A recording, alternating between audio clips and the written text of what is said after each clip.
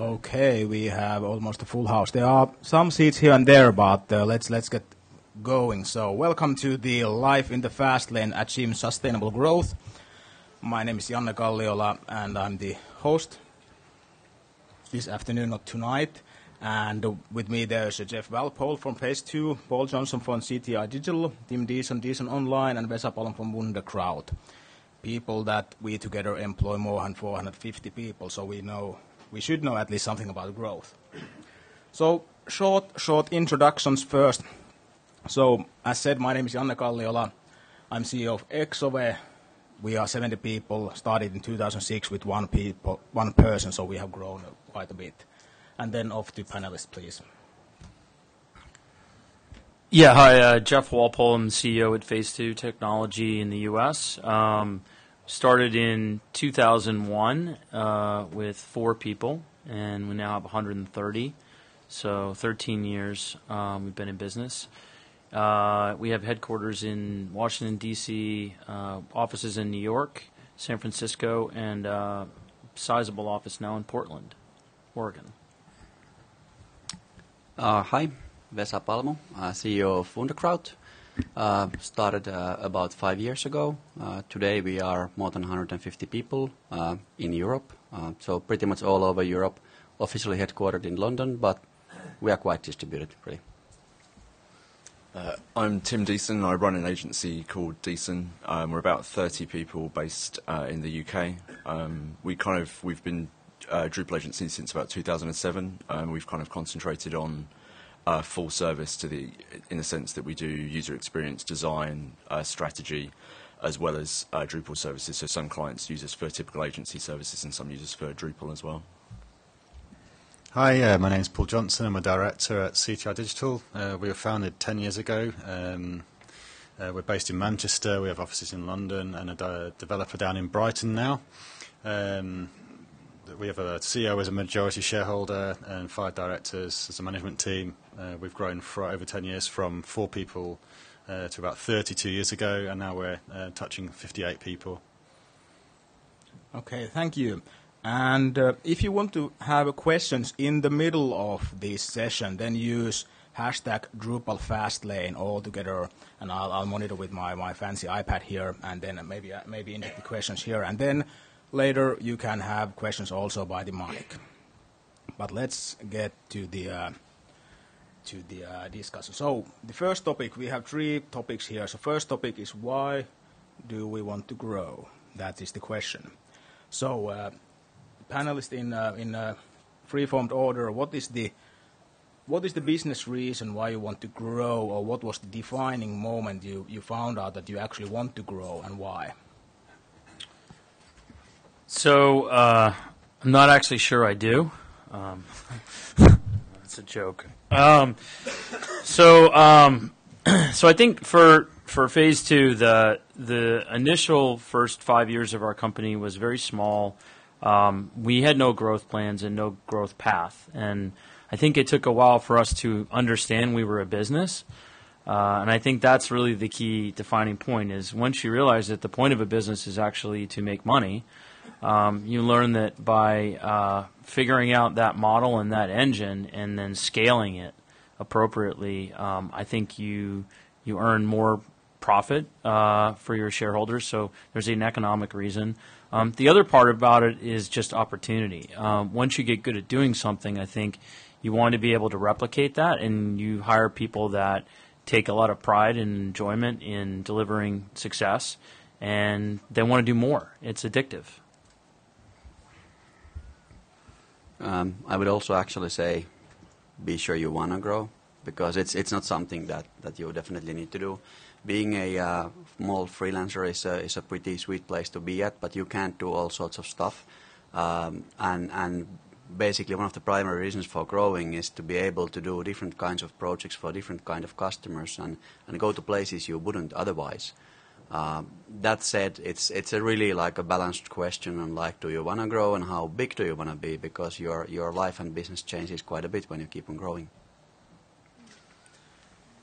I think uh, certainly for me as a founder, it's been interesting to understand. I think why grow is a really important question when you're moving from being a freelancer or um, kind of as you go through those different points, because your job will change if you're at the top of that kind of pyramid. And understanding what you want to be doing day to day and why, I think, is quite important because otherwise you can end up with a business plan that doesn't really reflect the reality of what you want to achieve. Um, we've grown quite organically, so we haven't had any acquisitions, and I think it's been good because it's allowed us to align to opportunities well, and certainly part of the driver of that has been to take on more kind of interesting opportunities or clients or skills that feels like we can do better and better work.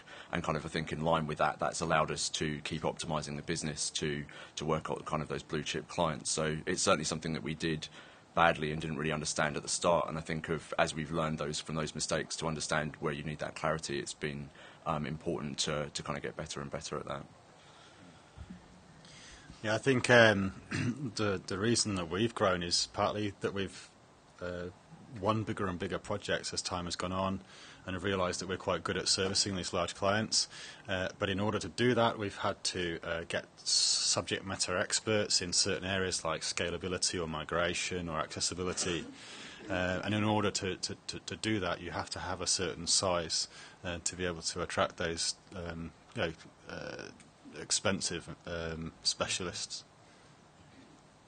Thank you. Let's do a quick quick gallop from the uh, from the audience. So, how many of you are working alone in a single man entity, single woman entity? Less than five people, or five five or less people? Less than ten people? Less than twenty people? Less than fifty people? Less than 100? More than 100? More than 1,000? Okay, so there's still, still plenty of room to grow. Uh, good. So, what's the benefit of growth or growing to your to the clients? What the clients get when you grow? So I think the client gets a lot. Um, this is definitely something that we uh, utilized to our advantage in the sales cycle. We talk to clients about the, like Paul said, the ability to bring specialists to the team that a smaller organization couldn't afford. Um, so we can take a, a full breadth uh, set of experiences from strategy and design through content strategy, UX, uh, development. You know, get into uh, deployment and DevOps and infrastructure, and scalability, and all that. So, so we can deliver a very broad set of services, and I think that's a great selling point for some clients. Um, however, uh, I think there's a point at which size becomes uh, you hit a point of diminishing return, and so we try to uh, target ourselves and imagine ourselves fitting the sweet spot between. Um, you know, I call it the the Goldilocks strategy, right? So you had the three little bears, you know, and this one's this bed's too small and this bed's too big, and uh, three little bears. I'm mixing my I think I'm mixing my uh, my my fairy tales, but uh, uh, so you know the por- I'll go with the porridge, right? The porridge was too hot, the porridge was too cold. This one's just right, right? So we see ourselves as being large enough to deliver all those services, but not so large that we've reached, you know, uh, an Accenture, IBM. You know, we one department doesn't talk to each other, and we create bureaucracy, sort of thing. So we're targeting that sweet spot for clients in between. Yeah, what we really, uh, the reason for, for founding Wunderkraut really was, was quite simple. It was customer demand. Um, so customers were really looking to, to get a uh, international vendor uh, who would be able to service them globally or, or European wide or whatever it may be for, for different customers. But they wanted to have a vendor that is small and agile and flexible. Not a very easy thing to do, um, and, and very few companies have managed to do it. And, and that's one of the reasons why, why, why we ended up being what we are today, being like small and flexible and not even trying to be one of the elephants, uh, like IT elephants. Uh, we don't want to be an IBM, really. We want to be able to be flexible and move quick and, and change and do different stuff and also do stuff differently from, from time to time. Uh, so that, that really was, was the primary reason for, for getting started. Yeah, we've certainly been finding a sweet spot of where agent uh, clients have been either shortlisting or selecting us to pitch on this basis that we're not so big. We're not kind of a WPP group, tens of thousands of people agency, but we're not uh, too small an agency that they feel like the size of the project is a commercial risk for them based on our turnover. And I think part of that sweet spot has been around having those um, specialist services like user experience or content strategy or some of those things that smaller agencies can't have, and it feels risky to the client for them to be brought in on a freelance basis, but not be a huge agency um, that they start to feel like even as a as a kind of a very large pharmaceutical client, for example, even at that size, that they're not really that valuable to them based on billions of billings. And I think within the kind of Drupal community and the agencies that are out there, there seems to be a kind of an emerging opportunity for kind of big enough to, to take on big jobs, but not so huge that they're they're kind of those network agency sized companies where clients are just really sick of kind of not having that customized service or people paying attention or high staff turnover. And we've certainly been winning business on the basis, I think, of being able to do full service on those jobs, but um, not be so big that they kind of feel impersonal even to a really large client. I suppose for CTI, um, one of the big things was that we needed to be uh, large enough to be able to service uh, organisations like the government, enterprise, and um, large public sector bodies that, that they require a certain scale. Um, and that's partly through th- uh, things like resilience, so you know, sickness, uh, absence. Um, we're also um, more people means we've got better availability of resource, so we can plan around their changing requirements. Uh, we can also achieve a higher velocity. That's not just because we've got more hands on deck. It can mean that we've got specialist uh, roles, uh, so through the full project life cycle. So we, we have people who are um, satisfying the kind of client relationship and sales, and then we have people who specialise in planning, and then we've got uh, separate teams for development, and then the support and in-life services. And that's been a really important thing for us to kind of segment those because uh, it, it um, we found the development team were being uh, pulled into support uh, aspects and being pulled off projects. And now that we have these two two sort of like finite roles, um, yeah, the, the, it's, it's, a much more um, uh, productive environment. Okay, so we we talked a lot, lot about sweet spot. So hands in the air question for the panelists: that who is currently at the sweet spot? Below the sweet spot. Mm above the sweet spot? I mean, uh, uh, certainly in the northwest of the, of the, UK, there are quite a few um, uh, examples of companies that have taken that bridge between 50 and 100, and we're kind of at 50-ish at the moment. And it's a very dangerous gap to take. You have to introduce uh, extra layers of, of management, and um, you become uh, uh, uh, the profitability uh, sort of wanes during that period, and there have been plenty of agencies who have, have, folded during during that journey. So I'd say we're at that sweet spot, about to take a, a, leap of faith. Yeah, I, you always the challenges keep on changing when you grow. There's always the next thing, and, and, people say, you know, it's difficult to go from 10 to 20 or you know 50 to 100 or whatever. It's difficult to go from one to two. It's it's it's always just a different challenge on what you face.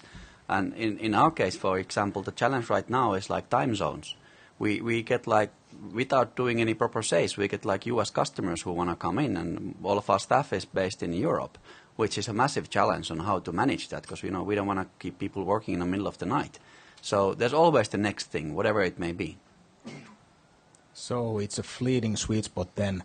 Uh, really, really quick answers this is important question, so a couple of words only, and starting from Tim this time.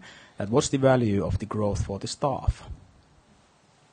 Uh, I think learning opportunities, probably, if you want two words. Yeah. Yes. Bigger parties. Ability to specialise in something that you're really passionate about. I think those would all be mine. all those are better for staff. Excellent. And then the next topic that we know now that why we want to grow for the fleeting sweet spot. So the uh, the next one is how do we grow? And uh, let's take uh, first the uh, once again hands in the air for the panelists. That uh, did you have you grown organically? All those that have grown organically, hands in the air. What's there will be more. You can, mix. Yeah, you can you can answer uh, to the several. So have you uh, grown through mergers and acquisitions? Have you grown using extensively freelance networks? Yeah. Okay, we have one that used all the three. Something else that I have missed. Okay, that was exhaustive then. Uh, so let's let's go to the planning question. That how do you plan growth, or do you do? Does it just happen that, it, that suddenly you found out that you are CEO of 200 people company, or have you actually made a plan and followed it? So, so in our case, uh, we started to get real growth when we made a plan and followed it. Believe it or not. Um, so, you know, we started a, a, budgeting cycle, and the budgeting looks at headcount and it looks at uh, profit margins, and it works backwards to try to make sure that we achieve a net profit, uh, and then it essentially establishes a growth path based upon um, what we think we can sell. So it's a it's a difficult problem. Um, obviously, you have to factor in what you can sell, uh, the size that you want to be, and what you, how you can recruit um, qualified people. And uh, so we, we did achieve this year our growth plan, and then at the end of the year, we seized an opportunity to uh, do another uh, small, uh, not acquisition technically, an, acqui-hire. Um, but uh, we, we that was outside of our growth plan, but we looked at it as an advance against better hiring decisions than we would have made next year. So we had an opportunity to get a really great team, and we took it at the end of the year. But it was when we were literally at, I think, almost exactly at the number. It was the literal number that we were supposed to be at for the end of the year. So we were there early, and then we said, ah, screw it, let's just get another 14 and add it on. Um, so the plan is very helpful, but uh, you always have to, I guess, allow yourself the ability to deviate from the plan to seize opportunity. Yeah, it's good to have goals. Uh, we have rolling goals usually, so it's not like an annual budgeting or planning cycle. It's more like, well, this is what we are going to do next kind of thing. Uh, and, and it's also like ongoing and rolling and kind of a moving target. Uh, you mostly grow sales first um, because of, the nature of the business. You need to have the sales to support the growth. Um, and um, then for example, we are always hiring, like at any given time, if we find the right person, we always hire them, and then the sales follows also. So I would say sales first whenever possible, but if you find great people, their work will also, you know, follow those people. Acquisitions are, are tricky, but I guess that's a separate topic. I think there's certainly kind of an ongoing cycle mentality. You need to be, it's just as important to concentrate on your sales as your delivery and infrastructure. And classically, agencies struggle when they oversell but don't have the processes or people to keep delivering. And you can end up with quite kind of a, a turnover and headcount graph that will just keep dipping up and down unless you can understand as your headcount grows that your problems will keep changing in terms of management infrastructure or process. Um, you know, the sales stuff is is a kind of a completely different problem. I think too often agencies, smaller agencies, haven't had to have dedicated sales teams, and I found sales teams and business development is quite a complex thing to manage compared to um, project delivery and other things which you have to do all the time, even as a kind of very small agency. And I think recognizing those different challenges and managing them uh, specifically to their nature, so not trying to treat sales teams as development teams and etc., is quite important to understand and break up your business that way because it's easy to um, kind of fall into nasty traps that um, catch you out later. Um, I suppose uh, CTI's um, uh, some advice would be uh, make sure you're selling the right projects, know what you're good at, and don't necessarily go for every single opportunity that comes along. Um, we do have a long-term plan. Um, I think it's important that you have a management te team and also your staff bought into that plan um, so that it echoes throughout the business. And uh, two years ago, it's fair to say that um, that wasn't the case uh, in our company, and uh, we shrank. Um, because some of the management team were trying to pull the business in a different direction and um, uh, it had quite a negative impact. Um, and to resonate what uh, uh, Jeff has been saying, yeah, you need to kind of uh, uh, always be appraising things and be opportunistic. So that uh, may that be through hiring, or there may be um, the next big project that you think that you should go for because it's good for the long-term plan. Excellent. There's a question from the audience, so the, at least somebody's awake there. So the, uh, uh, there's a question that would it make sense for a small agency to hire dedicated business development specialists to help with the growth? So what, what's your take on that? Um, only if you've got staff who can deliver what they can sell. It depends what you mean by business development specialist. If it's a salesperson, as it is in the UK, fine, do it. Uh, if it's really like developing your business, I wouldn't. Um, or be prepared to hand over your company and, and sell part of it and whatever you do. It has to be all or nothing kind of thing because companies need strong leadership and, and if you try to like outsource that leadership, that's not going to go well. Excellent. Uh, so we have been talking about sales. So what is the what is the uh, I guess that the improved sales is the key to growth that you get more money in. So how do you get the new clients or how do you evaluate the markets where you want to expand? Sure. Um, yes, I think first and foremost, having market specialization or, strategy to, to go after something specific is critical because if you can't be able to tell uh, your staff, whether they're dedicated salespeople or not dedicated salespeople, if you can't point out a specific target and focus and say that's how and where we're going to grow and that's what the kind of work we're interested in doing, then you're essentially just taking what comes to you. And if you take what comes to you, you're you're at the mercy of your inbound lead generation process, and that's demand that you don't control. And you don't want to be growing a business off of demand that you don't control because that can turn around on you.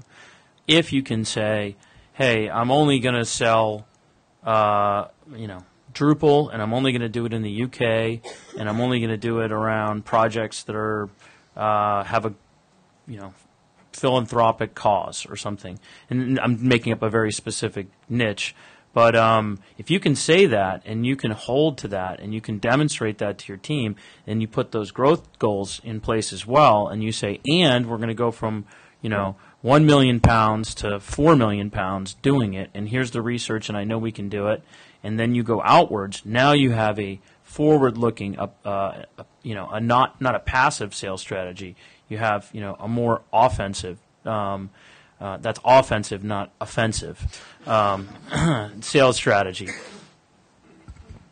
I'll, I'll, just add a bit on top of that, uh, basically. So uh, whatever he said, and uh, um, also what I see in in Drupal shops, we, we talk about acquisitions quite a bit, and what, what I see in most Drupal shops is like um, they are first of all they're kind of busy uh, running with the bicycle because they don't have time to learn to how to ride the bicycle, so they run with it instead. Um, and and the second thing is like they don't get to do the stuff that they would like to do, like specialize in in a, in a niche and and do some great stuff because they are so busy in in cleaning up their messes because they sell whatever just to get the ne- next paycheck, and that's a really really like vicious circle to be in. So breaking out of that circle somehow and, and getting to the next level and decided, hey, look, you know, we don't have that many customers for some time, but at least now we are doing what we really want to do and what we are really good at. And, and that can be tricky because, believe it or not, people need to have their paychecks in order to eat. So, tricky.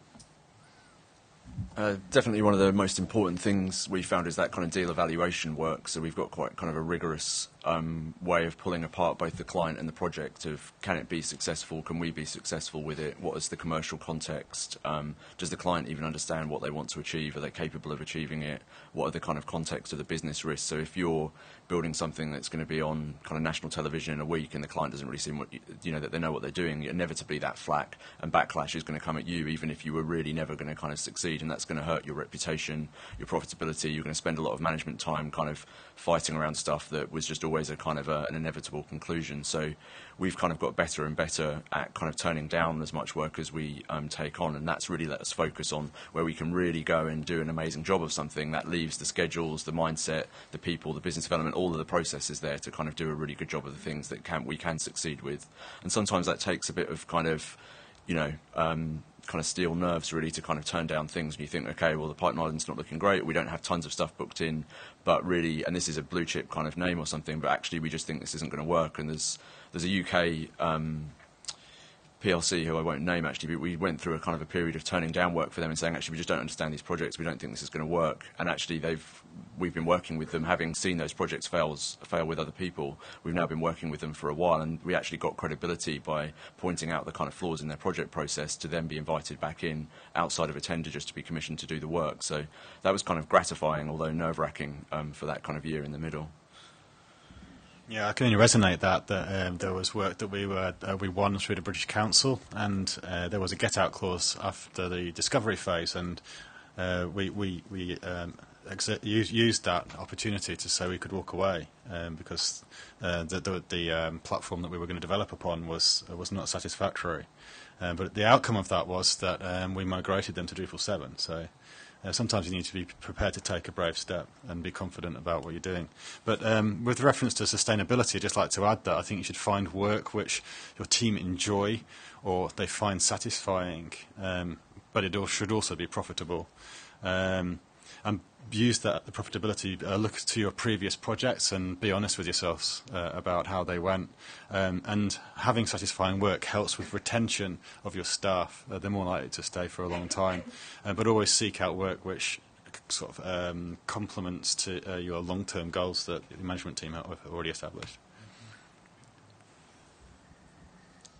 Good. and then there's other question from the related to the markets from the from the audience that the what is the large enough uh, organization to serve the, the uh, government and the enterprise markets? Quick answers. This would depend a lot on a country. it's it is like say for example in in the UK um, the the government is actively trying to say use SMEs like small and medium players, uh, whereas in in markets like say Sweden or Finland or whatever, it's going to be like if you don't have a million employees, you can't even bid for for major project. It really varies from country to country. In some places, you need to be one of the big four or five players in order to play, and, and in some some markets, it's quite the opposite. So this is highly reliant where you're operating it.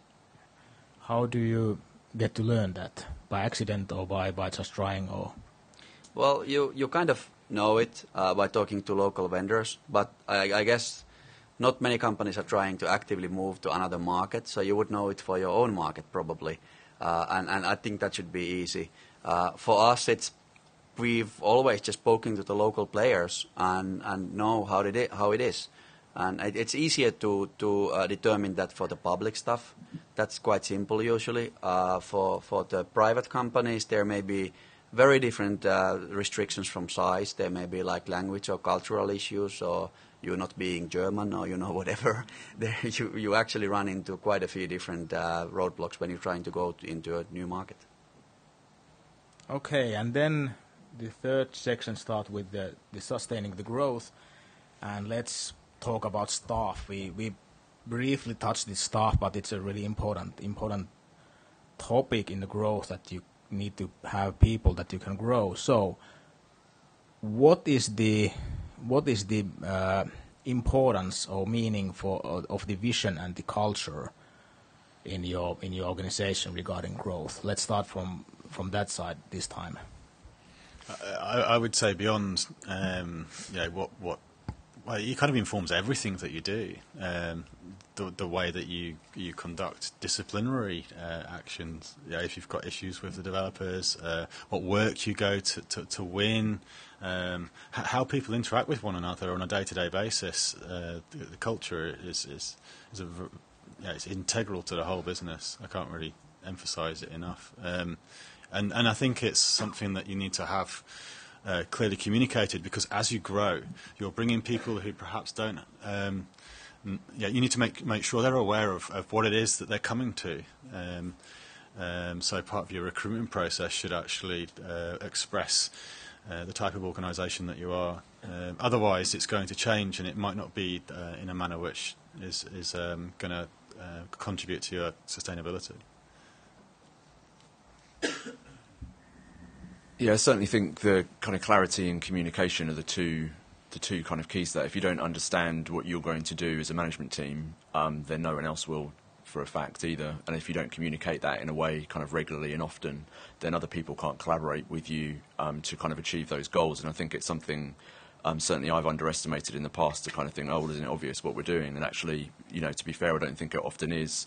Um, you know, the at the kind of leadership level of the company, I think often you're kind of moving faster and looking at things in a way that um, not everyone else has the opportunity to. And I think it's really important to to kind of set those goals and then um, keep communicating them and collaborating on them and working through them. Um, otherwise, people often, you know, change is something that humans just aren't geared up to kind of enjoy and accept without kind of having that um, context for it too. And I think letting people know where you're going and why um, is really important and can often smooth over the kind of humps and bumps that you get with growth, where things, people's roles change, people's processes change, people's kind of working habits are going to change, and that can often be um, more difficult than you anticipate. I think, in my experience.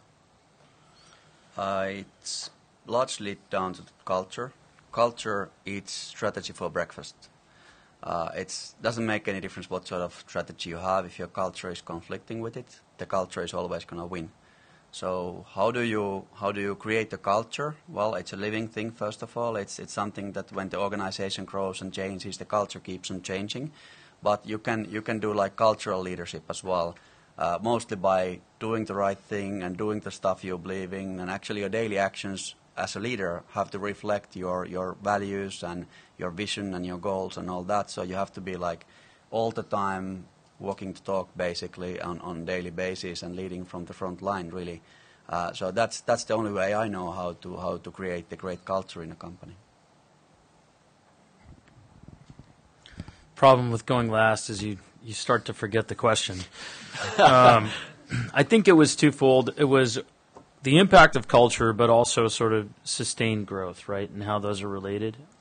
Um, so I think first and foremost, you know, you can look at you can look at growth two ways. You can look at it as uh, responsive growth that's kind of pulled by demand. You know, uh, we got one or two large projects, and they wanted us to scale up. So in response to that, we added people. Um, the the problems with that are similar to what I said earlier about sales, in that um, that's someone else's plan for you, not your plan for yourself. That's being pulled in a direction by demand, not determining you're going to go in that direction proactively. And those are the situations that typically don't last. They're not sustainable growth because um, the company wasn't controlling that destiny.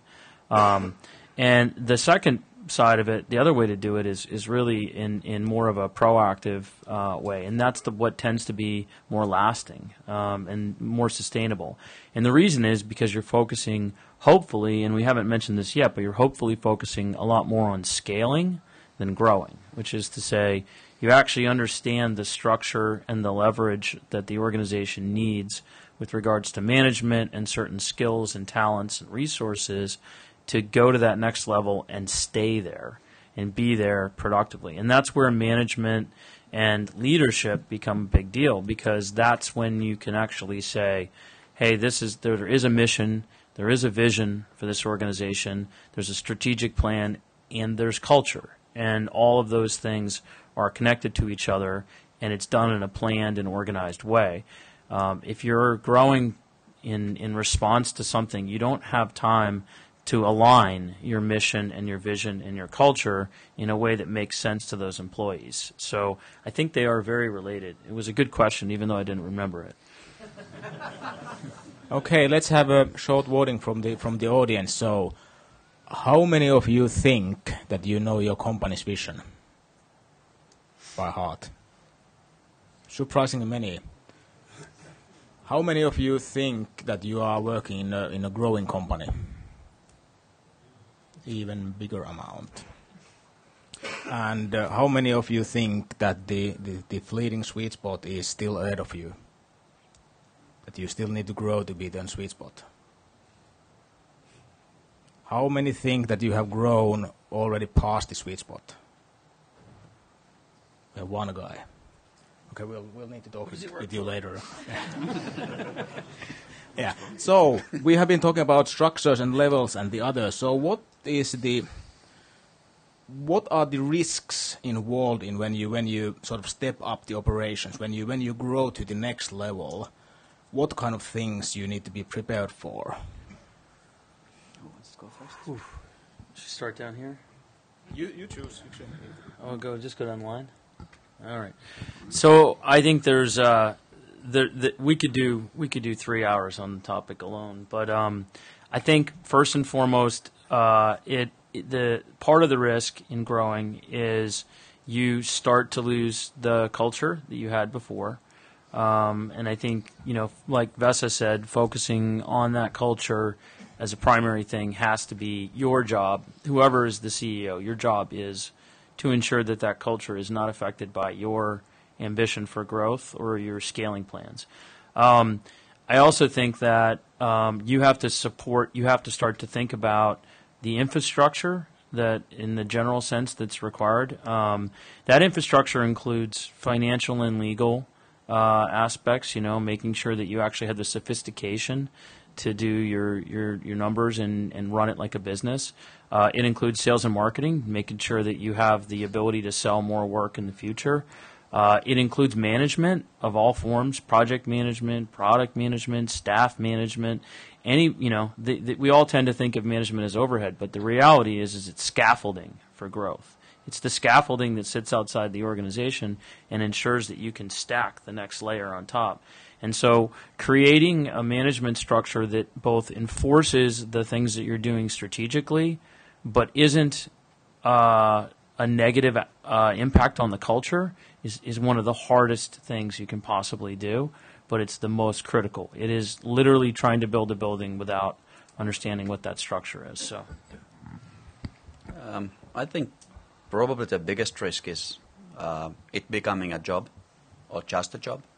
So, so basically, it no longer it's something that you on Monday mornings you are really glad that yeah, it's great to go to, to work and do all of this great stuff because uh, you have all sorts of hustles and and you may have even a temptation on copying the big boys on how they run corporations because surely they know because they have tens of thousands of employees and you copy all of the bureaucracy and layers and all this like additional crap which part of it may be scaffolding like really for growth part of it may be just because that's the way it's done because that's the way they teach you when you do mbas which is complete crap if you ask me. Uh, so so all of this may actually turn turn it as a like work where it's like oh my god it's again monday i don't want to go to work and, and that's the biggest risk.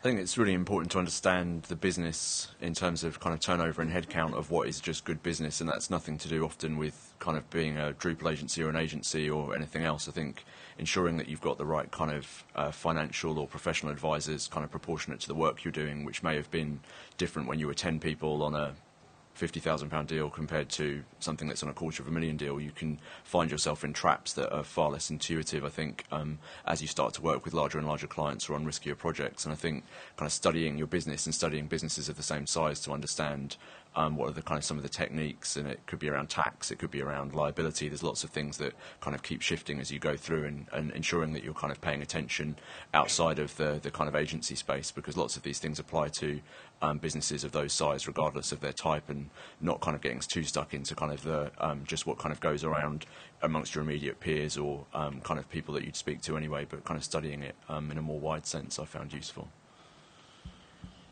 I think uh, one of the risks of uh, becoming quite large is that the uh, management team can become isolated from the production team, the people who are actually um, making these things. Um, temptation to hire people just to satisfy demand. Uh, you're hiring the wrong people. Um, that can be a big risk. It can, uh, yeah, if you get one bad apple, it can spoil things. Um, you also has an increased need for better process and good documentation so that it is scalable uh, so that people know exactly what they're doing. And also, uh, resource planning is quite a big um, issue with us. Uh, so uh, we have a, a, manager who spends his whole time horizon gazing and speaking with sales and production, uh, because the more projects you have, um, the more li- and the bigger clients, uh, and the more likely there are shifts in um, the, the, client requirement. Uh, projects may go away for a period of time, leaving a big gap in your yeah with guys with tapping the bench, and you have to to run a profitable business, avoid that, that at all costs. So.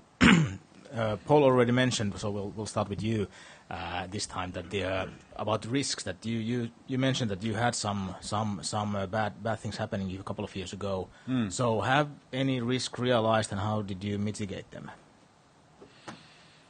Um, I mean that that situation uh, is kind of concurrent with when I arrived. I was brought in to try and help to. I, I shared the, the vision of the company, um, and I suppose the, the CEO mitigated that by um, uh, finding ways for that indi- those individuals to depart. Um, but uh, a lot of the risk that we have is is around um, around resource. We have a lot of staff.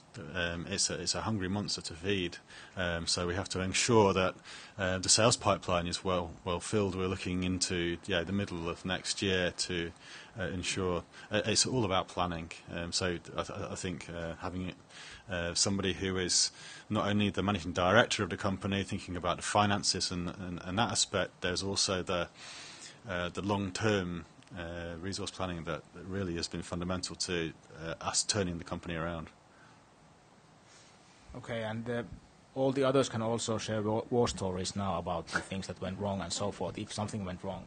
Uh, where do you start? Um, uh, certainly, we've seen risk. You know, I think risk can kind of come in many forms. Some of the risk we've seen has been from some of our biggest successes, I guess, when we've had really rapid growth periods, and you are trying to kind of manage that growth, and it feels good and you're succeeding, but also you're growing kind of possibly quicker than that kind of scaffolding's going up. And you have to we've had definitely had some kind of retrenching periods where we've just tried to to kind of take a little bit of a step back and make sure that where we've kind of achieved on that growth curve, that's sustainable. And we've been lucky to kind of had have permanent growth I guess. So we've certainly kind of grown um, slower and smaller than other people. Um, but we've been lucky to be able to kind of maintain it and sustain it rather than um, kind of dipping up and down. Um, so I think that's kind of one of the keys. I think is also just when, which sounds a bit kind of um, e or um, negative, but when thing you know when it, things are going really really well, just understand what does that mean for the next thing. If you've just hired ten people, don't forget to look at that pipeline that's three months out and six months out because all of that growth needs to be kind of sustained. Otherwise, you just deal with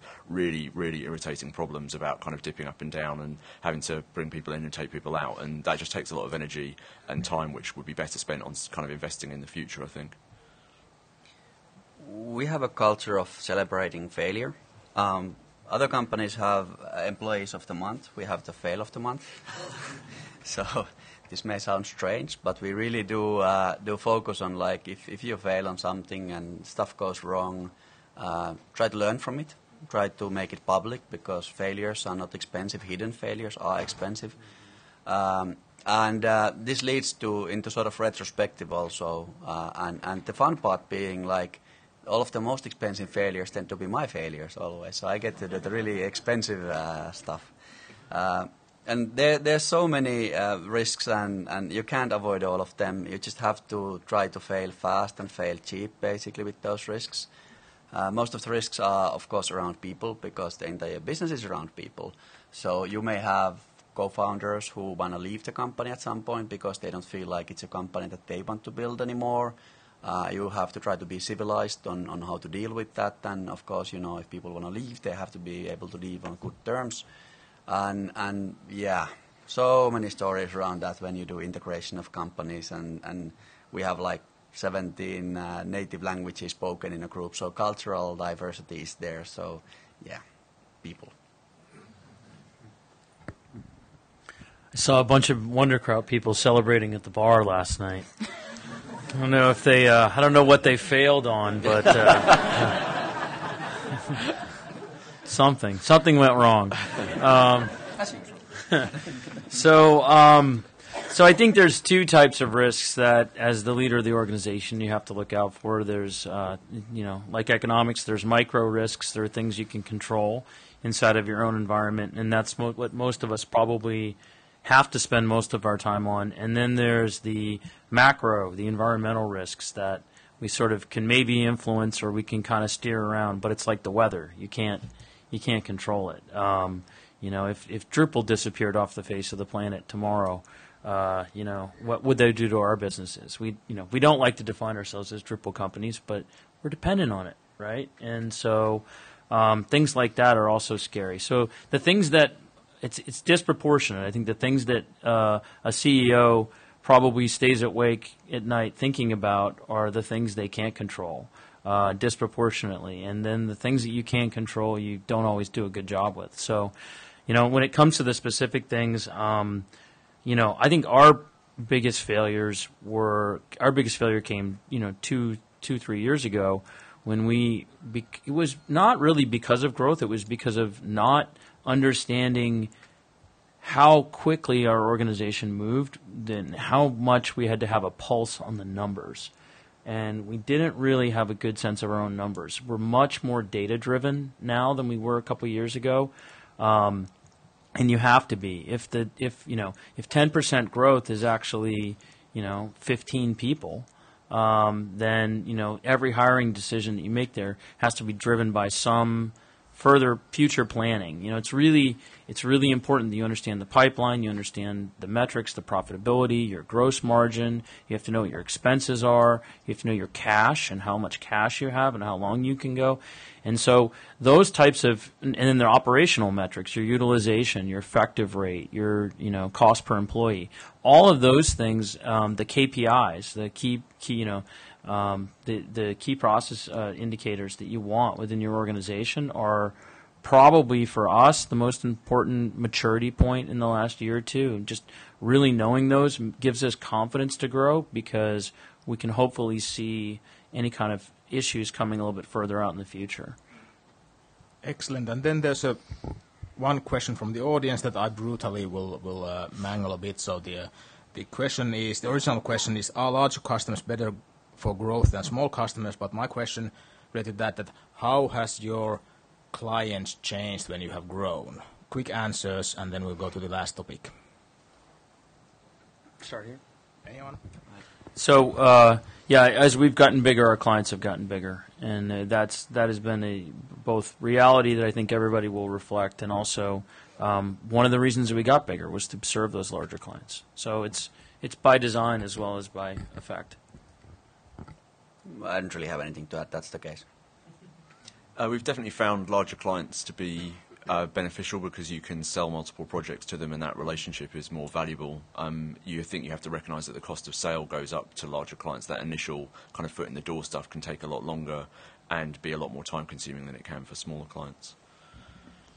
Um, our clients have gone from uh, having small enterprises that have strong owners, and you've just got to convince that one person, to CEOs, uh, maybe boards, that you have to go through a very bigger process and convince a lot more people and be more authoritative in how you're doing it. So it can be a lot longer process. You have to be very self-assured.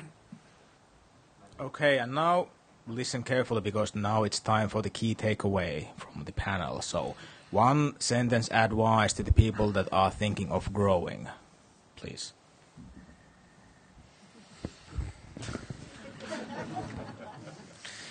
Uh, I would say the most important thing is is is well, it's cliche. World peace. Um, the most important thing is is the people you hire. Just make sure you don't lose track of uh, what Vesa or Tim or somebody said. Uh, um, just each person you add into that organization while it, they may be small relative to the size you're growing to, they have the ability to either make you successful or start to hurt you. And so each person you bring in is critical to the success. Uh, I'll try to stick in one sentence if I can. Uh, uh, don't forget why you do it that was half my one actually. I think be really clear what you want to achieve um, and why, because if you don't get those two things together, um, I think it can get quite complicated quickly. Um, have a long-term objective and take small steps to get there. Excellent. So now all of the audience are experts in growth. So the uh, now it's time to go deeper. So any questions? So you can use the hashtag Drupal Fastlane, and uh, we won't answer them right now, but we want kindly ask you to come to the microphone, but uh, the, the, these guys have uh, promised that they will, they will uh, get back to you in Twitter for those questions that I didn't ask now. But we have now 12 minutes and counting for any questions that you might have. Please go to the mic. You can form the line there if you like. Um, what if should should the founder of the company, presuming the founder of your of your company is a developer, uh, I'm not talking about myself here. Um, but and this developer says very very good. Should that person become the company leader like yourselves, or hire in a company leader, let's say, and remain as the top developer in the company? What do you want to do? it depends on that, really. What do you want to do? If if you want to become a leader, become a leader. go and get trained up in business stuff. It's really not all that, that fancy. Just go and do an MBA or whatever. That's simple. Developers will be excellent, or technical people in general will be excellent leaders if they just get the experience and training. But if you what, what you want to really do is hack Drupal, yeah, no, then then you need to do that. So you wouldn't have a problem with the, the founder of the company being, let's say, lower in terms of the management scale? For the for the uh, recording, that the question was that the uh, whether the uh, is it a problem that the founder of the company is below the management in the in the bigger company?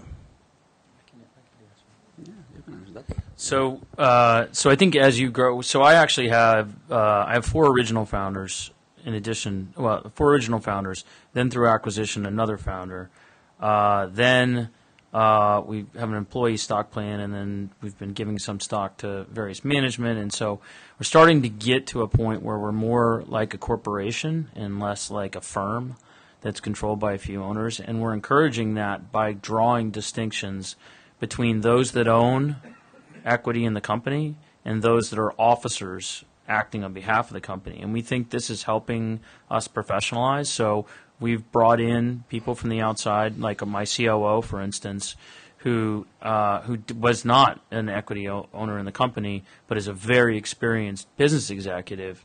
And we've taken a founder, in this case, one of my partners originally, and we have essentially put him underneath him uh, based on skill. And we think that when we, every time we do that, we're doing that for the employees. We're telling the company we will run this company as efficiently and effectively as we can, regardless of our ownership interests. And that's also in the interest of those people that own it because they get to watch professionals build build value for them that they would otherwise be trying to do themselves. So we're actually embracing the distinction between ownership and management in a very strong way.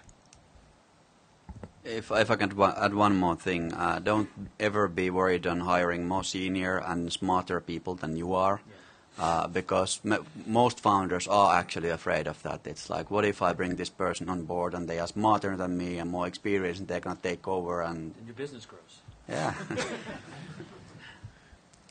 Excellent. Next question. Hi.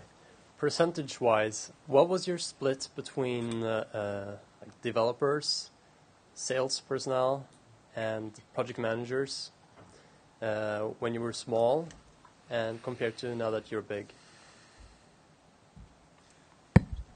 And I think we found we were developer heavy at the start because you don't have much process or infrastructure around that. And then I think we're at the ratio of about a third developers, and then the rest are support staff, creative, project managers, finance, things like that. So I think it the ratio does change, and it's really important to understand your who's billable and who's not because as you get bigger, there's be less in your ratios of who's actually um, charges rates will go down, which kind of shifts your um, numbers on your headcount quite quickly. I think it's natural to have a shift in, in the proportion. Oftentimes, in a small company, people will wear several different hats.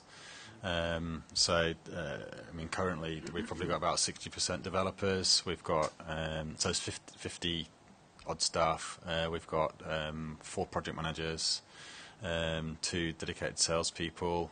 Uh, so we're very, very heavy on the dev still, but we've we've got. Um, uh, Could, uh, could you repeat those numbers? so we've got 50 staff. Uh, we've got about 50% are developers.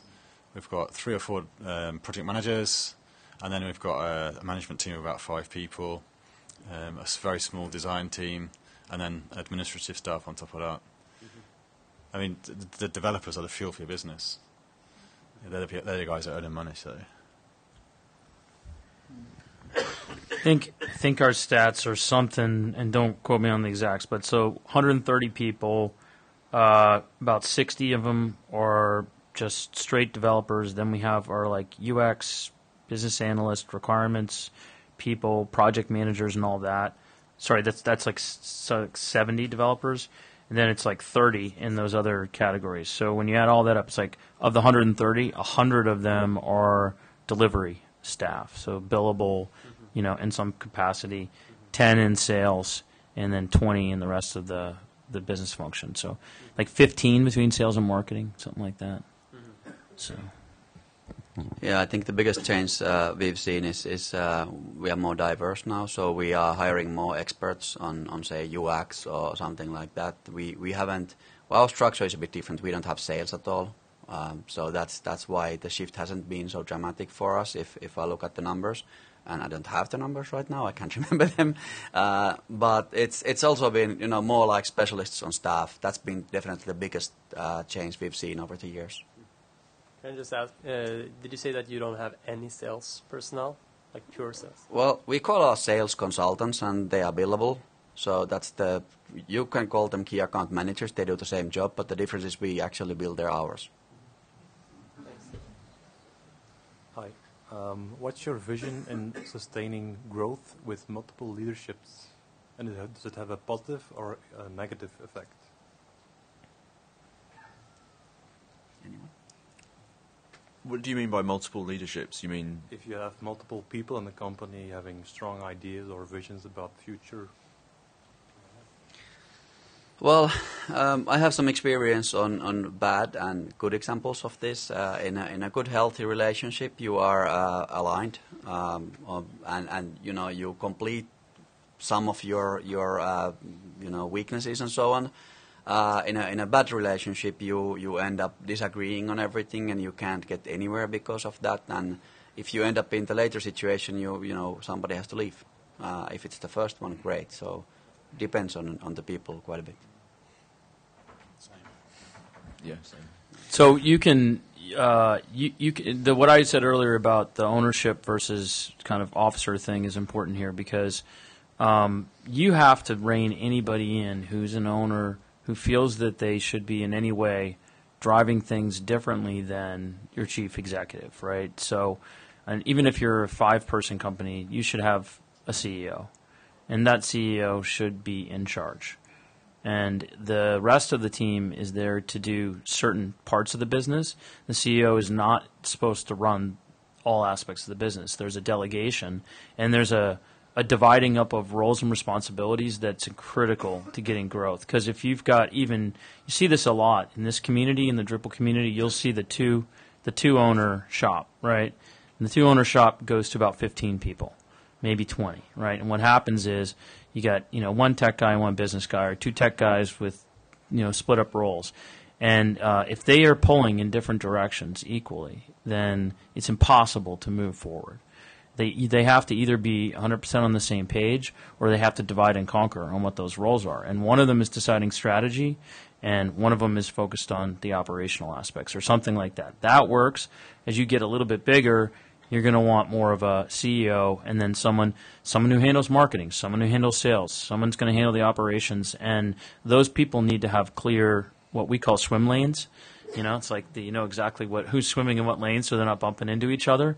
Um, and the best tool I can use, I could recommend for that is a is a RACI chart. If you're familiar with RACI, it's uh, it's an acronym. You can Google it, but um, it, it, it, it's a great exercise to get people to focus on what value and what purpose they're doing for the organization, and make sure that those all align with the vision and the strategy, and they're not pulling away in different directions. So they're complementary.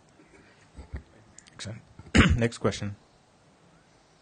Speak Hi. close to the microphone. Hi there. Um, so you talked specifically about how important culture is, and I'm curious, as you've grown, you know, what you've done to be intentional about preserving culture, if that's been sort of top-down leadership, you know, or if that comes from within your organization, or how you've how you've made that work, and, and, and given how important that it is, you know, what steps as as CEOs you've taken to to um, sustain that as you've as you've grown and be intentional about it. Uh, we could do a really long answer to this one, uh, but the very short version, because we I think we are a bit short on time, would be just uh, set an example and be consistent on that. Sure. I think it's important to remember too is you're going to have a culture regardless of whether you're mindful of it and uh, kind of understanding what what you're trying to kind of cultivate and, and how and, and having kind of a finger on the pulse as you go is really important. Um, And I think it's important to know what your culture is, um, to emit that externally so that you can attract people who are like minded so that you can grow that. Excellent. And then the last question. Hi. Um, I have a question regarding growth. We've been talking about that we need to like have good employees and find good employees. If you, what would be your advice when you have a company of the size 15 to 25? Before we can hire as somebody to take care of finding employees, um, somebody has to find the employee, and then often the CEO of the company or who is in the top position in the company. How much time would you say that you have to spend on finding good employees so your company can have a good growth?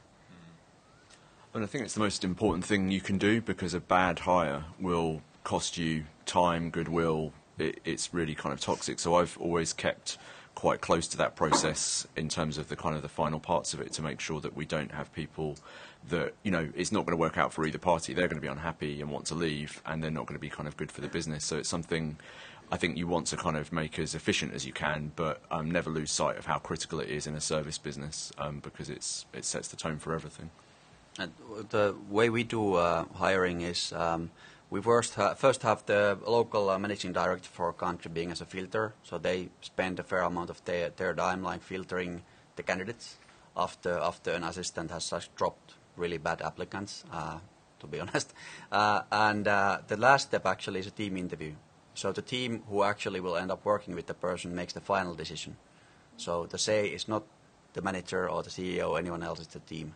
And that helps quite a bit because it's a nice and honest discussion between like what the company is like and making sure that because the team has to survive with that person as well. So that's sort of it's going to make your life a bit easier if you're running a company as well.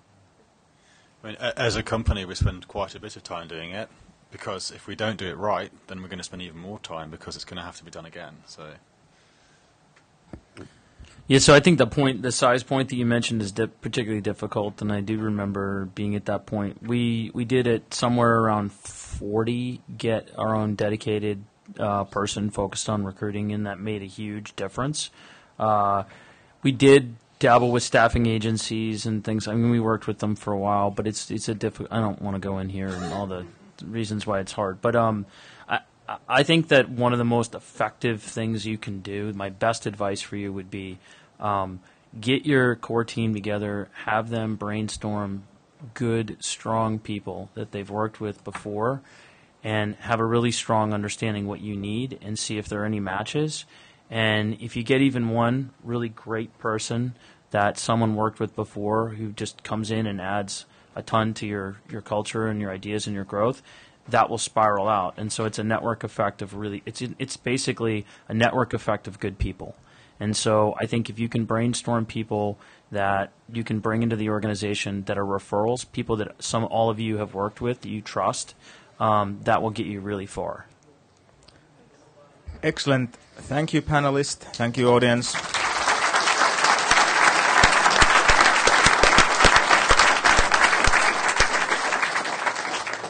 Don't you leave yet. I have two topics. so, first and foremost, give feedback. This is important. This is the only way that we can improve. And the other one, the even more important thing, that the discussion continues at quarter to four at uh, G111 room, ADX room. There's a BoF business track, BoF growing Drupal business. So squeeze in there to continue discussion. Thank you.